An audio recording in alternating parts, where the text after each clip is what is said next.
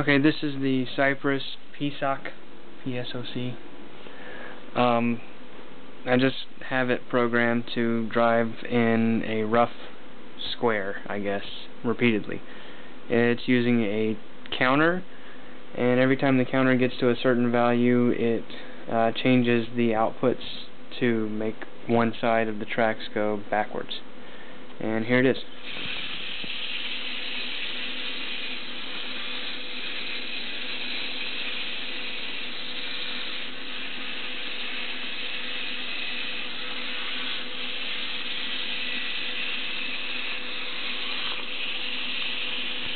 Also, if you can notice, the little guy drives uh, a little stronger on one side than the other.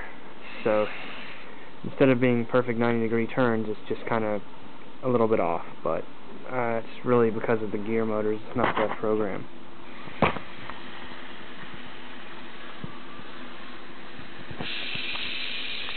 And that's it.